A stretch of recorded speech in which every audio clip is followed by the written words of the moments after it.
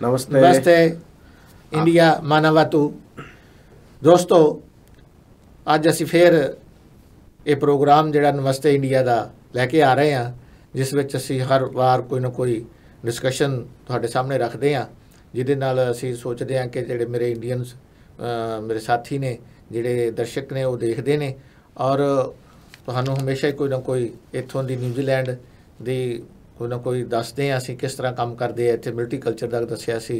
ਪਿਛਲੀ ਵਾਰੀ ਅਸੀਂ ਟੂਰਿਜ਼ਮ ਤੇ ਦੱਸਿਆ ਸੀ। ਫਿਰ ਅਸੀਂ ਪਿਛਲੀ ਵਾਰ ਜਿਹੜੇ ਵਿਸ਼ੇ ਸੀਗੇ ਸਾਡੇ ਕੋਲ, ਹੋਰ ਵੀ ਇਲੈਕਸ਼ਨ ਜਿਹੜੀ ਚੱਲ ਰਹੀ ਹੈ ਨਿਊਜ਼ੀਲੈਂਡ ਦੇ ਵਿੱਚ, ਉਹਦੇ ਬਾਰੇ ਵੀ ਅਸੀਂ ਤੁਹਾਨੂੰ ਦੱਸਿਆ ਸੀ। ਅੱਜ ਅਸੀਂ ਕੇਵਲ ਤੇ ਕੇਵਲ ਗੱਲ ਕਰਨ ਜਾ ਰਹੇ ਹਾਂ ਇੰਡੀਆ ਦੀ। ਇੰਡੀਆ ਦੇ ਵਿੱਚ ਅੱਜ ਪਿਛਲੇ ਸਮੇਂ ਤੋਂ ਲੈ ਕੇ ਕਿਸਾਨਾਂ ਦਾ ਜਿਹੜਾ ਐਜੀਟੇਸ਼ਨ ਚੱਲ ਰਿਹਾ। ਕਿਸਾਨ ਗੁੱਸੇ ਵਿੱਚ ਹਨ। ਕਿਸਾਨ ਕੁਝ ਆਪਣੀਆਂ ਮੰਗਾਂ ਮਨਾਉਣੀਆਂ ਚਾਹੁੰਦੇ ਹਨ। ਕਿਉਂਕਿ ਸਾਡੀ ਸੈਂਟਰ ਸਰਕਾਰ ਨੇ, ਜਿਹੜੇ ਸਾਡੇ ਕਿ ਐਗਰੀਕਲਚਰ ਨਾਲ ਸੰਬੰਧਿਤ ਨੇ, ਖੇਤੀ ਨਾਲ ਸੰਬੰਧਿਤ ਨੇ, ਉਹ ਬਿੱਲਾਂ ਦੇ ਵਿੱਚ ਥੋੜੀ ਚੇਂਜ ਕੀਤੀ ਹੈ। ਕਿਉਂਕਿ ਸਾਨੂੰ ਸਾਰਿਆਂ ਨੂੰ ਪਤਾ ਕਿ ਸਾਡਾ ਜਿਹੜਾ ਦੇਸ਼ ਹੈ ਇੰਡੀਆ, ਉਹ ਖੇਤੀ ਪ੍ਰਧਾਨ ਦੇਸ਼ ਮੰਨਿਆ ਜਾਂਦਾ। ਜਿਹਦੇ ਵਿੱਚ 80% ਜਿਹੜੇ ਲੋਕ ਆ, ਉਹ ਖੇਤੀ ਤੇ ਨਿਰਭਰ ਹਨ। ਇਸ ਲਈ ਵੱਡੀ ਸੰਖਿਆ ਜਿਹੜੀ ਹੈ ਹਿੰਦੁਸਤਾਨ ਦੀ, ਇੰਡੀਆ ਦੀ ਉਹ ਖੇਤੀ ਨਾਲ ਸੰਬੰਧਿਤ ਹੈ। ਤਾਂ ਸੋ ਸੈਂਟਰ ਗਵਰਨਮੈਂਟ ਨੇ ਜਿਹੜੀਆਂ ਤਰਮੀਮ ਕੀਤੀਆਂ ਹਨ ਕੁਝ ਉਹਦੇ ਵਿੱਚ ਕੋਈ ਚੇਂਜਸ ਕੀਤੀਆਂ ਹਨ, ਉਹਦੇ ਨਾਲ ਕਿਸਾਨਾਂ ਨੂੰ ਗੁੱਸਾ ਹੈ। ਕਿਸਾਨ ਚਾਹੁੰਦੇ ਹਨ ਕਿ ਇਹ ਜਿਹੜੀ ਬਿੱਲ ਹੈ, ਇਹ ਵਾਪਸ ਲੈ ਜਾਣ ਤਾਂ ਕਿ ਜਿਹੜੇ ਸਾਡੇ ਜਿਹੜੇ ਰਾਈਟਸ ਆ, ਉਹ ਬਰਕਰਾਰ ਰਹਿਣ। ਸੋ ਮੇਰੇ ਨਾਲ ਅੱਜ ਇਸ ਵਿਸ਼ੇ ਤੇ ਗੱਲ ਕਰਨ ਲਈ ਮੇਰੇ ਛੋਟੇ ਵੀਰ ਚਿਰਾਗ ਜੀ ਆਏ ਹਨ। ਮੈਂ ਉਹਨਾਂ ਨੂੰ ਜੀ ਆਇਆਂ ਆਖਦਾ ਹਾਂ। ਲਓ ਦਰਸ਼ਕੋ, ਅੱਜ ਆਪਾਂ ਸ਼ੁਰੂ ਕਰਨ ਜਾ ਰਹੇ ਹਾਂ ਇਸ ਤਿੰਨਾਂ ਬਿੱਲਾਂ ਦੀ ਗੱਲਬਾਤ ਜਿਹੜੀ ਕਿ ਇੰਡੀਆ ਦੇ ਵਿੱਚ ਚੱਲ ਰਹੀ ਹੈ बिल्कुल चिराग जी धन्यवाद अम, जो सबसे पहले तो ये हमारा वीडियो देख रहे हैं उनसे एक जो न्यूजीलैंड में बेस्ड इंडियन भाई लोग देख रहे हैं जो फैमिलीज देख रही हैं अभी तक जिन्होंने वोट नहीं किया है सैटरडे तक वोटिंग ओपन है अपना वोट डालें जो हमारा प्रीवियस वीडियो था अगर आपको और कुछ जानना है उसके बारे में तो आप वो देख सकते हैं और दूसरी चीज़ ये कि आज जो हम सेंसिटिव मुद्दा लेके आए हैं। इस पर अक्सर कोई बोलना नहीं चाहता। और हम इसलिए इस चीज़ को उठा के लाए क्योंकि हम लोग फार्मर फैमिली से बिलोंग करते हैं। और अंकल जी ने पहले जैसे इंडिया में पैंतीस साल इस कृषि से, सेक्टर में अपनी सेवाएँ दी हैं। तो इस वजह से मैंने इनको बोला कि ये आपका एक्सपर्टाइज एरिया है। तो आप ओपन कीजिए वीडियो को आज। तो आज हम बात करते हैं तो इसमें जो तीन बिल तीन बिल नहीं कहूँगा अभी लॉ बन चुके हैं राष्ट्रपति द्वारा सेंक्शन हो चुका है तो अध्यादेश जब आता है तो उसके बाद फिर बिल बनता act bill act and law law तो अभी लॉ बन चुका है। तो इसके लिए अपन शुरू करेंगे स्टार्टिंग से। जब 1947 में देश आज़ाद हुआ था, उस वक्त क्या था कि जो बड़े घराने थे, उनके पास इनकी ज़मीनें, जैसे राजा रियासतें थी, उनके पास किसानों की ज़मीनें दबी हुई थी। तो सरकार ने उनको मज़बूत करने के लिए ज़मींदार एक्ट लेके आए। ठीक है, फिर ग्रीन रेवोल्यूशन आया। तो ग्रीन रेवोल्यूशन का जिम्मेदार जो था, वो एपीएमसी था। एपीएमसी क्या है? एग्रीकल्चर प्रोड्यूस मार्केट कमेटी जिनको हम नॉर्मली भाषा में मंडियाँ कहते हैं। ठीक है ये मंडियाँ होने की वजह से 1965 का जो ग्रीन रेवोल्यूशन था जो हरित क्रांति जिसको कहते हैं जिसमें हरियाणा पंजाब और जो यूपी का कुछ हिस्सा है थोड़ा बहुत राजस्थान का इस हिस्से ने बहुत बड़ा योगदान दिया और यहाँ का जो किसान था वो एक अच्छी स्थिति में पहुँचा। तो जी अब धीरे धीरे बातें आई आगे हुआ स्वामीनाथन की रिपोर्टें वगैरह अभी रिसेंट पॉलिटिक्स की बात करें कि सरकार ये करेगी, इनको लेके ठीक है। अभी जो तीन नए बिल आए हैं, उनमें किसानों का गुस्सा है, कई चीज़ों पे लेके है। तो पहले तो उन तीन बिलों को, क्योंकि नाम बड़े लेंदी हैं, मेरे बस की बात नहीं है, मैं पहले भी बता चुका कि अंकल जी का एक्सपर्टीज एरिया है। तो ये तीन जो लॉ बने हैं, उनके बारे में, उनके नाम और उनका क्या क्या मतलब है जरा ब्रीफ में आप बताइए ਦੋਸਤੋ ਕਿਉਂਕਿ ਮੇਰਾ ਪਿਛੋਕੜ ਜਿਹੜਾ ਪੰਜਾਬ ਦੇ ਵਿੱਚ ਮੈਂ ਅ, ਇਸ ਨਾਲ ਸੰਬੰਧਿਤ ਰਿਹਾ ਖੇਤੀ ਨਾਲ ਸੰਬੰਧਿਤ ਰਿਹਾ ਮੈਂ ਮਾਰਕਫੈਟ ਦੇ ਵਿੱਚ ਐਜ਼ ਮੈਨੇਜਰ ਕੰਮ ਕੀਤਾ ਤੇ ਮੇਰੀ ਤਕਰੀਬਨ 35 ਸਾਲ ਦੀ ਜਿਹੜੀ ਅ, ਜ਼ਿੰਦਗੀ ਹੈ ਉਹ ਤੁਹਾਡੇ ਕਿਸਾਨਾਂ ਨਾਲ ਹੀ ਬੀਤੀ ਹੈ ਔਰ ਮੈਂ ਕਿਉਂਕਿ ਮੈਂ ਪਿੰਡ ਵਿੱਚ ਜੰਮਿਆ ਪਲਿਆ ਤੇ ਮੇਰੀ ਖੇਤੀ ਨਾਲ ਲਗਾਅ ਸ਼ੁਰੂ ਤੋਂ ਹੀ ਸੀ। ਜਿਹੜੀ ਮੇਰੀ ਫਰਸਟ ਜੌਬ ਹੀ ਸੀ ਨਾ, ਉਹ ਵੀ ਖੇਤੀ ਨਾਲ ਹੀ ਸੰਬੰਧਿਤ ਸੀ। ਮੈਂ ਪੰਜ ਸਬ ਚ ਐਜ਼ ਸਬ ਇੰਸਪੈਕਟਰ ਭਰਤੀ ਹੋਇਆ। ਸੋ ਸਾਡਾ ਜਿਹੜਾ, ਮੈਂ ਸਮਝਦਾ ਕਿ ਮੇਰੀ ਜ਼ਿੰਦਗੀ ਦਾ ਸਾਰਾ ਹਿੱਸਾ ਹੀ ਇਸ ਤੁਹਾਡੀ ਫਸਲਾਂ ਦੀ ਤੇ ਤੁਹਾਡੀ ਖੇਤੀ ਨਾਲ ਮੇਰਾ ਜੁੜਿਆ ਰਿਹਾ। ਮੈਂ ਮੈਂ ਤੁਹਾਨੂੰ ਅੱਜ ਦੱਸਣਾ ਚਾਹੁੰਦਾ ਕਿ ਜਿਹੜੇ ਇਹ ਤਿੰਨ ਐਕਟ ਹੈ ਇਹ ਕੀ ਹੈ। ਮੇਰੇ ਦੋਸਤੋ ਜਿਹੜਾ ਪਹਿਲਾ ਐਕਟ ਹੈ, ਉਹ ਹੈ ਜਿਹੜਾ ਅਮੈਂਡਮੈਂਟ ਕੀਤਾ ਗਿਆ farmers produce trade and commercial protection and facilitate act ਹੈ, ਜਿਹਨੂੰ ਅਸੀਂ APMC ਕਹਿੰਦੇ ਆ ਐਗਰੀਕਲਚਰ ਪ੍ਰੋਡਿਊਸ ਮਾਰਕੀਟ ਕਮੇਟੀ ਸਾਡੇ ਪੰਜਾਬ ਦੇ ਵਿੱਚ ਨਾਰਥ ਇੰਡੀਆ ਦੇ ਵਿੱਚ, ਪੰਜਾਬ 'ਚ, ਹਰਿਆਣਾ 'ਚ ਯੂਪੀ ਦੇ ਕੁਝ ਹਿੱਸਿਆਂ ਦੇ ਵਿੱਚ, ਮੱਧ ਪ੍ਰਦੇਸ਼ ਦੇ ਕੁਝ ਹਿੱਸਿਆਂ ਦੇ ਵਿੱਚ ਜ਼ਿਮੀਂਦਾਰਾਂ ਨੂੰ ਫੈਸਿਲਿਟੇਟ ਕਰਨ ਲਈ, ਜ਼ਿਮੀਂਦਾਰਾਂ ਦੀ ਉਪਜ ਨੂੰ, ਵਿੱਚ- ਉਹਨਾਂ ਦੀ ਉਪਜ ਜਿੱਥੇ ਜਾ ਕੇ ਵਿਕਣੀ ਹੈ, ਉਹਨੂੰ ਫੈਸਿਲਿਟੇਟ ਕਰਨ ਲਈ ਇਹ ਜਿਹੜੀਆਂ APMC ਦੀ ਬਣਾਈ ਗਈ, ਜਿਹਦੇ ਵਿੱਚ ਮਾਰਕੀਟ ਕਮੇਟੀਆਂ ਬਣਾਈਆਂ ਗਈਆਂ। ਮਾਰਕੀਟ ਕਮੇਟੀਆਂ ਦੇ ਨਾਲ ਨਾਲ ਸਟੇਟ ਪੱਧਰ ਤੇ ਮਾਰਕੀਟਿੰਗ ਬੋਰਡ ਬਣਾਏ ਗਏ, ਜਿਹਨੂੰ ਮੰਡੀ ਬੋਰਡ ਕਿਹਾ ਜਾਂਦਾ ਸੀਗਾ। ਮੰਡੀ ਬੋਰਡ ਤੇ ਮਾਰਕੀਟ ਕਮੇਟੀਆਂ ਦਾ ਕੰਮ ਇਹ ਸੀ ਕਿ ਸਾਡੇ ਕੋਲ ਜਿਹੜੇ ਪੰਜਾਬ ਦੇ ਕੁਝ ਹਿੱਸਿਆਂ ਦੇ ਵਿੱਚ ਜ- ਜ਼ਮੀਨਾਂ ਲੈ ਕੇ ਉੱਥੇ ਮੰਡੀਆਂ ਬਣਾਉਣਾ, ਫੜ ਬਣਾਉਣਾ, ਫਿਰ ਜ਼ਿਮੀਂਦਾਰਾਂ ਦੇ ਲਈ, ਉਹਨਾਂ ਦੇ ਲਈ ਪਾਣੀ ਦਾ ਪ੍ਰਬੰਧ ਕਰਨਾ, ਉਹਨਾਂ ਦੇ ਰਿਹਾਇਸ਼ ਦਾ ਪ੍ਰਬੰਧ ਕਰਨਾ, ਇਹ ਸਾਰੀਆਂ ਚੀਜ਼ਾਂ ਉੱਥੇ ਬਣਾਉਣੀਆਂ ਮੰਡੀ ਬੋਰਡ ਦਾ ਕੰਮ ਸੀ। ਸੋ ਇਹ ਗਵਰਨਮੈਂਟ ਦੀ ਹਦਾਇਤਾਂ ਦੇ ਮੁਤਾਬਕ ਜਿਸ ਤਰ੍ਹਾਂ ਮੇਰੇ ਵੀਰ ਚਿਰਾਗ ਜੀ ਨੇ ਦੱਸਿਆ ਕਿ ਜਦੋਂ 1947 ਤੋਂ ਬਾਅਦ ਅਸੀਂ ਜਦੋਂ ਆਜ਼ਾਦ ਹੋਏ ਤੇ ਸਾਡੇ ਦੇਸ਼ ਨੂੰ ਜਿਹੜੀ ਆ ਅੰਨ- ਅੰਨ ਦੀ ਘਾਟ ਸੀਗੀ ਉਸ ਵਕਤ। ਆਦਤ ਦੀ ਘਾਟ ਨੂੰ ਪੂਰਾ ਕਰਨ ਲਈ ਹਰੀ ਕ੍ਰਾਂਤੀ ਦਾ ਨਾਰਾ ਦਿੱਤਾ ਗਿਆ ਸੀ ਉਸ ਵਕਤ। ਤੇ ਉਸ ਹਰੀ ਕ੍ਰਾਂਤੀ ਗ੍ਰੀਨ ਰੈਵੋਲੂਸ਼ਨ ਦੇ ਵਿੱਚ ਸਾਡੇ ਪੰਜਾਬ ਹਰਿਆਣਾ ਕੁਝ ਰਾਜਸਥਾਨ ਦਾ ਹਿੱਸਾ ਯੂਪੀ ਦਾ ਹਿੱਸਾ, ਇਹਨੇ ਬਹੁਤ ਵੱਡਾ ਹਿੱਸਾ ਇਸ ਗੱਲ 'ਚ ਪਾਇਆ ਕਿ ਹਰੀ ਕ੍ਰਾਂਤੀ ਲਿਆ ਕੇ ਸਾਡੇ ਦੇਸ਼ ਨੂੰ ਅੰਨ ਭੰਡਾਰ ਦਿੱਤਾ ਗਿਆ, ਜਿਹਦੇ ਨਾਲ ਸਾਡੀ ਅਨਾਜ ਦੀ ਸਮੱਸਿਆ ਖਤਮ ਹੋਈ। ਉਹਦੇ ਵਿੱਚ ਇਹ APMC ਦਾ ਬਹੁਤ ਵੱਡਾ ਰੋਲ ਹੈ, ਕਿਉਂਕਿ ਇਹਨਾਂ ਨੇ ਇਨਫਰਾਸਟ੍ਰਕਚਰ ਤਿਆਰ ਕੀਤਾ। ਇਨਫਰਾਸਟ੍ਰਕਚਰ ਤਿਆਰ ਹੋਣ ਨਾਲ ਸਾਡਾ ਜ਼ਿਮੀਂਦਾਰ ਜਿਹੜਾ ਜਾ ਕੇ ਉੱਥੇ ਆਪਣੀ ਫਸਲ ਵੇਚ ਸਕਦਾ ਸੀ। ਉਸ ਤੋਂ ਬਾਅਦ ਜਿਹੜਾ ਸਾਡਾ ਅਗਲਾ ਕੰਮ ਸੀ, ਉਹ ਅਸੀਂ ਸੀਗਾ ਖਰੀਦਣਾ, ਉਸ ਫਸਲ ਨੂੰ ਖਰੀਦਣ ਦਾ ਕੰਮ ਮਾਰਕੀਟਿੰਗ ਦਾ ਕੰਮ ਸੀਗਾ। ਮਾਰਕੀਟਿੰਗ ਦੇ ਕੰਮ ਲਈ ਵੀ ਗਵਰਨਮੈਂਟ ਨੇ ਐਮਐਸਪੀ ਬਣਾਈ ਗਈ ਮੈਕਸਿਮਮ ਸਪੋਰਟ ਪ੍ਰਾਈਸ ਕਿਹਾ ਜਾਂਦਾ। ਮਿਨੀਮਮ। ਮਿਨੀਮਮ ਸਪੋਰਟ ਪ੍ਰਾਈਸ ਕਿਹਾ ਜਾਂਦਾ। ਉਹ ਮਿਨੀਮਮ ਸਪੋਰਟ ਪ੍ਰਾਈਸ ਨੂੰ ਲਿਆਉਣ ਲਈ ਜਿਹੜਾ ਗਵਰਨਮੈਂਟ ਨੇ ਇੱਕ ਐਕਟ ਤਿਆਰ ਕੀਤਾ ਉਸ ਤੋਂ ਬਾਅਦ ਐਸੈਂਸ਼ੀਅਲ ਕਮੋਡਿਟੀ ਐਕਟ ਤਿਆਰ ਕੀਤਾ ਗਿਆ ਜਿਹੜਾ ਜਿਹਦੇ ਵਿੱਚ ਹੁਣ ਵੀ ਅਮੈਂਡਮੈਂਟ ਕੀਤੀ ਗਈ ਉਹਦੇ ਵਿੱਚ pulses wheat paddy oil seeds ਹੋਰ ਸਾਰੀਆਂ ਚੀਜ਼ਾਂ ਜਿਹੜੀਆਂ ਸੀ ਉਹ ਲਿਆ ਕੇ ਉਹਦੇ ਵਿੱਚ ਉਹਨੂੰ ਐਸੈਂਸ਼ੀਅਲ ਪ੍ਰੋਡਕਟ ਦੇ ਵਿੱਚ ਲਿਆ ਕੇ ਉਹਨੂੰ ਪ੍ਰੋਟੈਕਟ ਕੀਤਾ ਗਿਆ ਕਿ ਜੇਕਰ ਕਿਸੇ ਕਿਸਮ ਦੀ ਕੋਈ ਸਕੇਅਰਸਿਟੀ ਕੋਈ ਥੋੜਾ ਆਊਗੀ ਤਾਂ ਗਵਰਨਮੈਂਟ ਉੱਤੇ ਕੋਈ ਕੰਟਰੋਲ ਕਰ ਸਕਦੀ ਹੈ ਹੋਲਡਿੰਗ ਤੇ। ਉਹਦਾ ਮਤਲਬ ਸੀ ਸਿਰਫ ਹੋਲਡਿੰਗ ਨੂੰ ਕੰਟਰੋਲ ਕਰਨਾ, ਜਿਹੜੇ ਕਿ ਵੱਡੇ ਵਪਾਰੀ ਆ ਕੇ ਸਾਡੇ ਜ਼ਿਮੀਂਦਾਰਾਂ ਦੀ ਫਸਲ ਲੈ ਕੇ ਹੋਲਡਿੰਗ ਕਰ ਲੈਂਦੇ ਸੀ ਤੇ ਉਹਦੇ ਨਾਲ ਜਿਹੜੀ ਹੈ ਥੋੜ ਪੈਦਾ ਹੋ ਜਾਂਦੀ ਸੀ ਥੋੜ ਪੈਦਾ ਹੋਣ ਕਰਕੇ ਉਹਦੀ ਜਿਹੜੀਆਂ ਪ੍ਰਾਈਸਸ ਅਪ ਹੋ ਜਾਂਦੀਆਂ ਸੀ। ਉਹਨੂੰ ਕੰਟਰੋਲ ਕਰਨ ਕੇ ਕਿ ਐਸੈਂਸ਼ੀਅਲ ਕਮੋਡਿਟੀ ਐਕਟ ਲੈ ਕੇ ਆਂਦਾ। ਇਸੇ ਤਰ੍ਹਾਂ ਤੀਜੀ ਫਾਰਮੇਸ਼ਨ ਹੈਗੀ ਜਿਹੜੀ ਹੁਣ ਇਸ ਵਕਤ farmers empowerment and protection agreement of price assurance ਇਹ ਐਕਟ ਕੀ ਹੈ? ਕਿ ਇਹ ਕੰਟਰੈਕਟ ਫਾਰਮਿੰਗ ਦੀ ਇੱਕ ਸ਼ਕਲ ਹੈ। ਤੁਹਾਨੂੰ ਯਾਦ ਹੋਊਗਾ ਕਿ ਬਹੁਤ ਸਾਲ ਪਹਿਲਾਂ ਯੂਪੀ ਦੇ ਕੁਝ ਹਿੱਸਿਆਂ ਦੇ ਵਿੱਚ, ਪੰਜਾਬ ਦੇ ਵਿੱਚ ਵੀ ਤੇ ਕੁਝ ਮਹਾਰਾਸ਼ਟਰ ਦੇ ਕੁਝ ਹਿੱਸਿਆਂ ਦੇ ਵਿੱਚ ਕੰਟਰੈਕਟ ਫਾਰਮਿੰਗ ਨੂੰ ਪ੍ਰਮੋਟ ਕੀਤਾ ਗਿਆ ਸੀ। ਉਹਦੇ ਵਿੱਚ ਇਹ ਸੀ ਕਿ ਕੁਝ ਵੱਡੇ ਘਰਾਣੇ ਤੇ ਕੁਝ ਜ਼ਿਮੀਦਾਰ ਆਪ ਇਕੱਠੇ ਹੋ ਕੇ ਉਹਨੂੰ ਕਿਸੇ ਛੋਟੇ ਜ਼ਿਮੀਂਦਾਰਾਂ ਦੀ ਫਸਲ ਜਿਹੜੀ ਜ਼ਮੀਨ ਲੈ ਕੇ ਉਹਦੇ ਤੇ ਕੰਟਰੈਕਟ ਫਾਰਮਿੰਗ ਮੀਨਸ ਕਿ ਉਸ ਜ਼ਿਮੀਂਦਾਰ ਦੀ ਫਸਲ ਤੇ ਬੀਜਣ ਤੋਂ ਪਹਿਲਾਂ ਹੀ ਉਹਦੇ ਨਾਲ ਕੰਟਰੈਕਟ ਹੋ ਜਾਂਦਾ ਸੀ ਕਿ ਅਸੀਂ ਆ ਤੈਨੂੰ ਫਸਲ ਦੇਵਾਂਗੇ ਬੀਜਣ ਨੂੰ ਤੇ ਤੂੰ ਇਹ ਫਸਲ ਬੀਜਣੀ ਹੈ ਤੇ ਜਿਹੜੀ ਤੇਰੀ, ਜਿਹੜੀ ਪ੍ਰਾਈਸ ਹੈ ਉਹਦੀ ਆ ਹੋਊਗੀ, ਜਦੋਂ ਉਸ ਫਸਲ ਨੂੰ ਸਾਰੇ ਨੂੰ ਅਸੀਂ ਚੁੱਕਾਂਗੇ। ਉਹ ਕੰਟਰੈਕਟ ਫਾਰਮਿੰਗ ਦੀ ਸ਼ਕਲ ਸੀ ਜਿਹਦੇ ਵਿੱਚ ਇਹ ਜ਼ਿਮੀਂਦਾਰਾਂ ਨੂੰ ਦਿੱਤਾ ਗਿਆ ਸੀਗਾ। ਸੋ ਇਹ ਤਿੰਨ ਬਿੱਲ ਜਿਹੜੇ ਆ ਉਹ ਤਿੰਨੇ ਬਿੱਲ ਸੈਂਟਰ ਗਵਰਨਮੈਂਟ ਨੇ ਲਿਆਂਦੇ ਸੀ ਔਰ ਉਹਦੇ ਵਿੱਚ ਸਟੇਟ ਗਵਰਨਮੈਂਟ ਨੇ ਵੀ ਆਪਣਾ ਆਪਣਾ ਹਿੱਸਾ ਪਾਇਆ ਸੀ। ਸਟੇਟ ਗਵਰਨਮੈਂਟ ਦੀਆਂ ਜਿਹੜੀਆਂ ਸੀ ਮੰਡੀ ਬੋਰਡ ਬਣੇ ਸੀ। ਸਟੇਟ ਗਵਰਨਮੈਂਟ ਨੇ ਇਨਫਰਾਸਟ੍ਰਕਚਰ ਦਿੱਤਾ ਸੀ ਤੇ ਸੈਂਟਰ ਗਵਰਨਮੈਂਟ ਦੀਆਂ ਪਾਲਿਸੀ ਦੇ ਤਹਿਤ ਉਹਦੇ 'ਚ ਫਸਲ ਉਹ ਤੋਂ ਚੱਕੀ ਜਾਂਦੀ ਸੀ ਠੀਕ ਹੈ।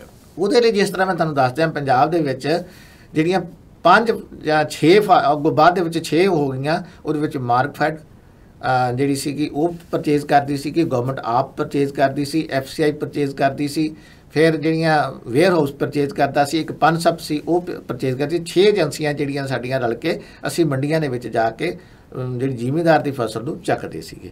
ਸੋ ਮੈਂ ਸਮਝਦਾ ਕਿ ਇਹ ਜਿਹੜਾ ਸਾਰਾ ਸਿਸਟਮ ਸੀਗਾ ਇੱਕ ਰੈਗੂਲਰਾਈਜ਼ਡ ਸਿਸਟਮ ਸੀਗਾ ਉਹ ਜਿਹੜੀ ਸਾਡੀ ਫੂਡ ਕਾਰਪੋਰੇਸ਼ਨ ਆਫ ਇੰਡੀਆ ਉਹ ਸਾਰੀ ਫੂਡ ਕਾਰਪੋਰੇਸ਼ਨ ਦੀ ਕੰਟਰੋਲਰ ਸੀਗੀ।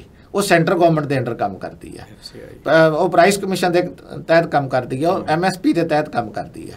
ਸੋ ਇਹ ਜਿਹੜਾ ਸਿਸਟਮ ਹੈ ਮੈਂ ਜਿਹੜਾ ਹੁਣ ਤੱਕ ਤੁਹਾਨੂੰ ਦੱਸਿਆ ਇਹ ਕੁਝ ਸਿੱਧਾ ਜਿਹਾ ਜਿਹੜਾ ਪਹਿਲਾ ਸਿਸਟਮ ਸੀਗਾ ਉਹ ਇਸ ਤਰ੍ਹਾਂ ਸੀਗਾ।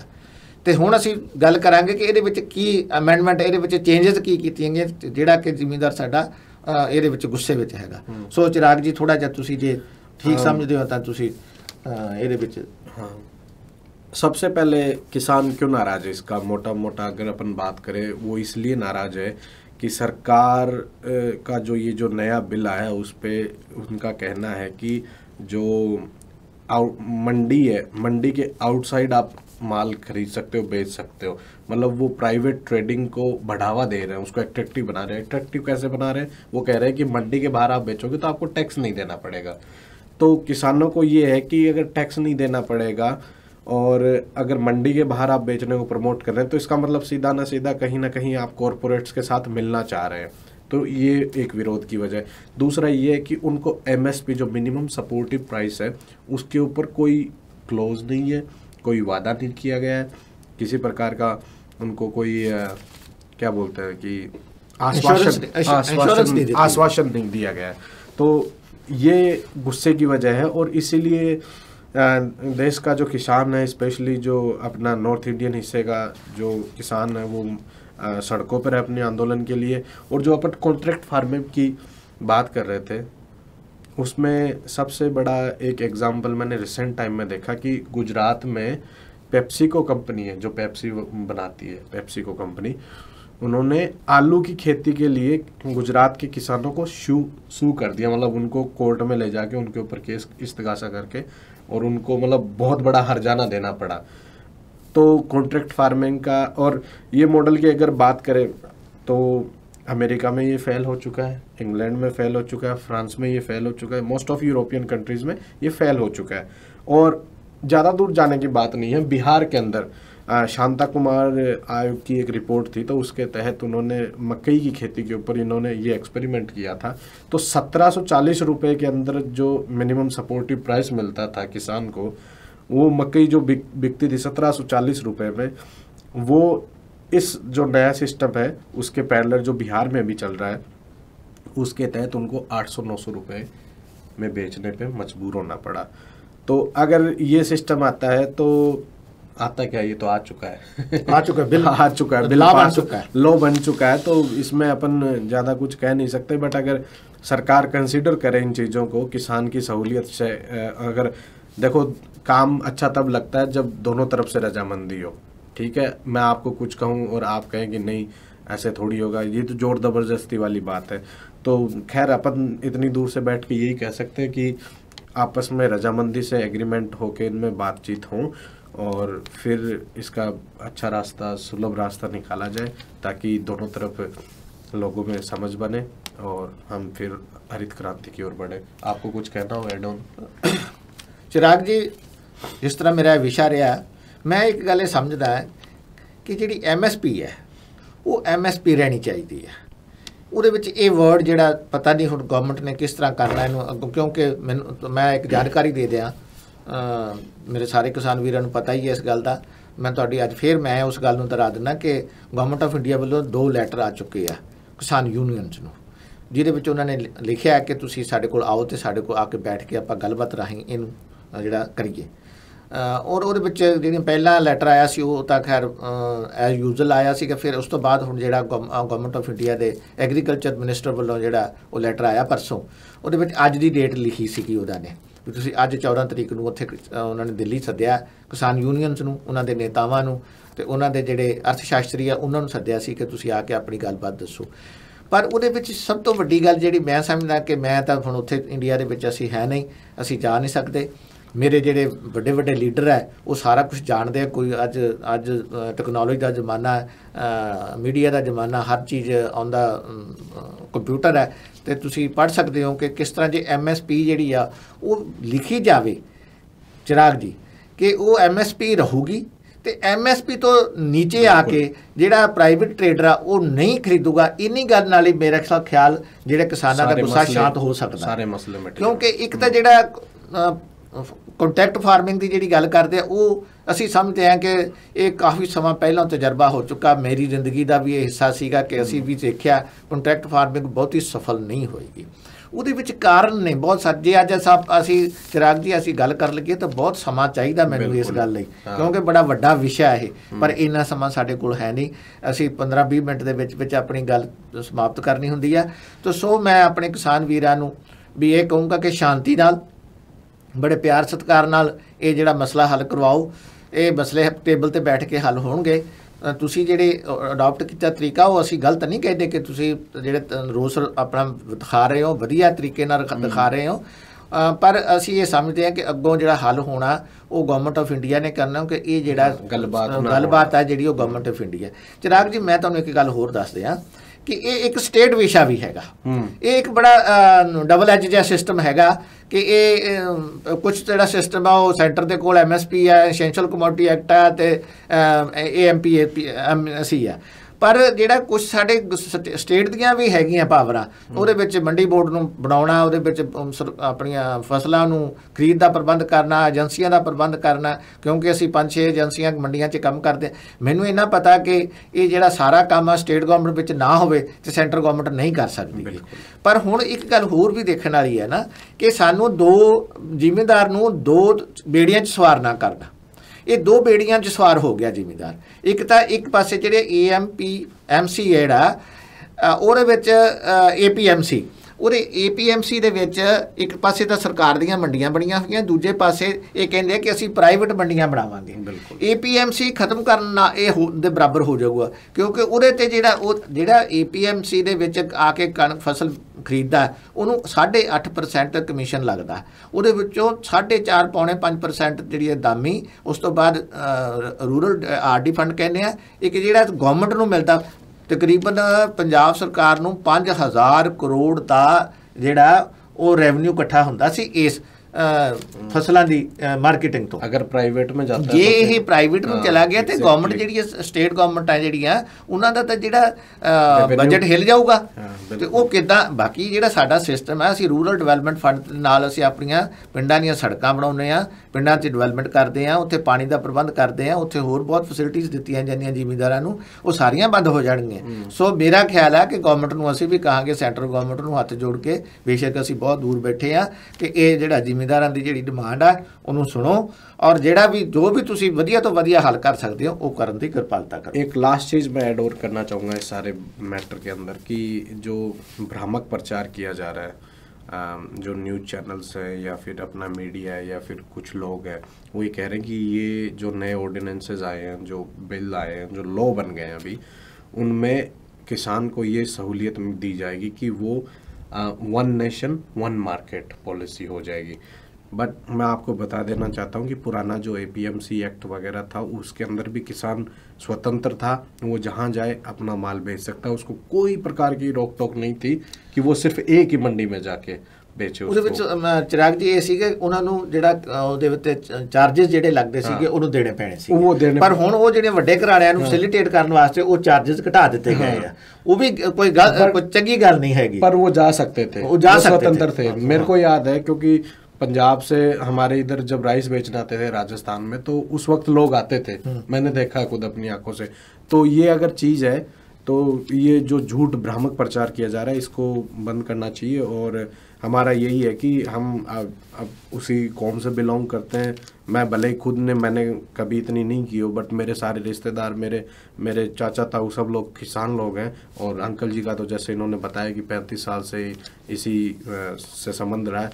तो हम एंड ऑफ़ द डे हम उनके साथ खड़े हैं और आप सबके साथ खड़े हैं और यही आपसे रिक्वेस्ट करते हैं कि सरकार से बात करके वन टू वन बात करके ही आपका मुद्दा सलट सकता है और हमारे वीडियो देखने के लिए और हमारे चैनल को इतना स्नेह देने के लिए बहुत बहुत धन्यवाद नमस्ते नमस्ते इंडिया ਮੈਂ ਮੈਂ ਵੀ ਆਪਣੇ ਤੌਰ ਤੋਂ ਸਾਰੇ ਫੇਰ ਸੈਂਟਰ ਗਵਰਨਮੈਂਟ ਦੇ ਜਿੰਨੇ ਵੀ ਵਜ਼ੀਰ ਆ ਜੋ ਜੋ ਵੀ ਕਰਨ ਵਾਲੇ ਨੇ ਉਹਨਾਂ ਨੂੰ ਬੇਨਤੀ ਕਰੂੰਗਾ ਕਿ ਜ਼ਿਮੀਂਦਾਰਾਂ ਦਾ ਪੱਖ ਦੇਖੋ ਜ਼ਿਮੀਂਦਾਰ ਜੇ ਸਾਡੇ ਦੇਸ਼ ਦਾ ਅ, ਉਹਨੂੰ ਕੋਈ ਤਕਲੀਫ ਹੈ ਤੇ ਸਾਰੇ ਦੇਸ਼ ਨੂੰ ਤਕਲੀਫ ਹੈ बिल्कुल मेरे अ, स्वर्गीय प्रधानमंत्री श्री लाल बहादुर शास्त्री जी ने एक नारा दिया था जय जवान जय किसान और जय जवान भी करो जय किसान भी करो thank you very much thank you very much नमस्ते